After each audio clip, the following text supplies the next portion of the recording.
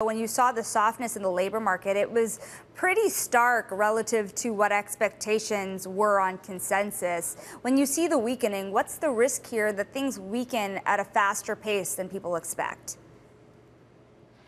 Yeah, so it's funny when we look at the labor market data um, in more detail today. You know, we actually see what was a still reasonably solid report. You know, under, underlying all the the bond market reaction today. Um, you know, if you look at some of the details, for example, government jobs, they actually have been quite strong.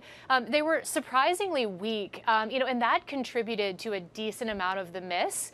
Um, if you would add that back, uh, you know, the which and we think the data will get revised. The government can be a little bit sketchy in how they uh, I guess, how they report, uh, and it does tend to get revised, you know, then this was a, you know, actually a, headline payroll number that was a little bit above 200K.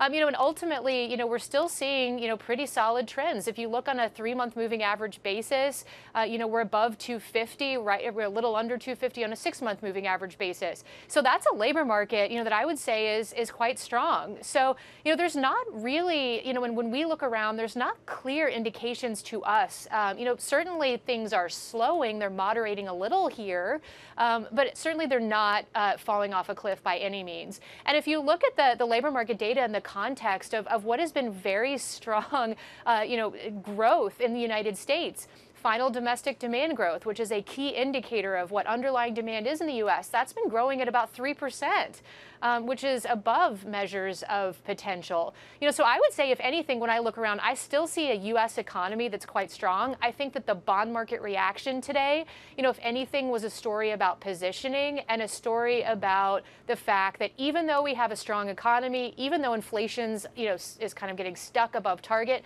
that the Fed is a long way from hiking interest interest rates.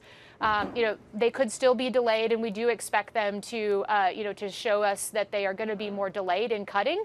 Um, but but at the same time, you know, they're they're really not prepared to hike at this point, and I think the bond market might have gotten a little bit over its skis in terms of pricing that, and that's why you're seeing that come out of uh, of yields today. It's a pretty drastic move you're seeing, not just today, throughout the whole week, or at least the last two days even of the week. How far over their skis are they? Most of these investors that are that are bidding the bond market up right now. When do you expect that first cut?